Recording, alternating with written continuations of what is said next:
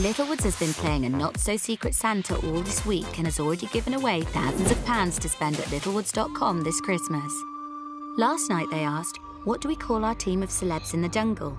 They are, of course, campmates. Thanks to everyone who entered, and here's the winner.